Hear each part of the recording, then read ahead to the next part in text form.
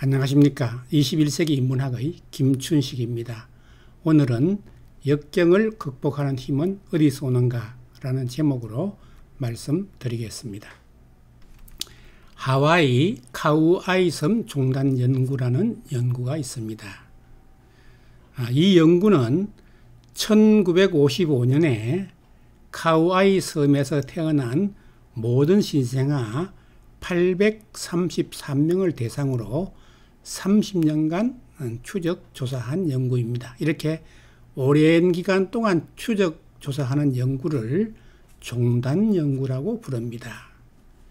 이 연구의 주제는 어린 시절에 겪은 특정한 어려움이 나중에 어떤 문제를 유발할 수 있는가 하는 것이었습니다. 대상지를 하와이 제도에 속한 이 카우아이 섬으로 선정한 이유는 카우아이 섬의 열악한 사회 경제적 환경 때문이었습니다.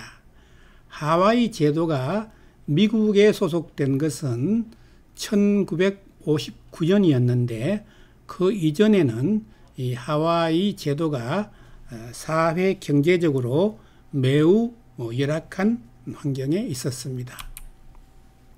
이 연구를 주도한 학자는 에미 워너라는 어, 심리학 교수였는데 대부분 어, 불우한 환경에서 자라게 되면 잘못된 길로 빠지는 경우가 많았는데 그 중에서도 불우한 환경에서도 잘못된 길로 빠지지 않고 올바르게 성장하는 아이들을 몇 명 발견하게 되었습니다. 그래서 그 이유가 무엇인가 하고 어, 추적 조사한 결과 이 아이들은 아이의 입장을 이해해 주고 받아주는 어른이 어, 적어도 한 명은 있었다는 것을 발견하게 되었습니다.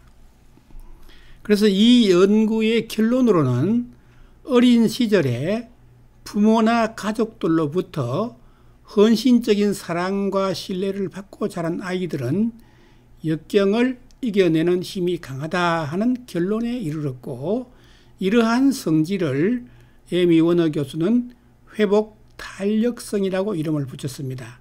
다시 말해 회복 탄력성이란 역경을 극복하는 능력을 말합니다.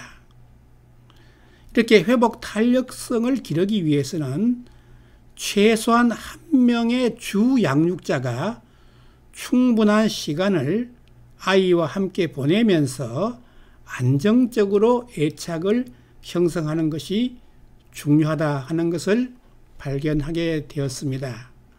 심리학자들에 의하면 이 아이들의 애착을 형성하는 중요한 시기가 태어나서 24개월까지가 매우 중요하다고 합니다. 그러므로 그 기간 동안에 부모나 또는 조부모가 아이에게 충분한 사랑을 쏟는 것이 매우 중요하다 하는 것을 알 수가 있습니다.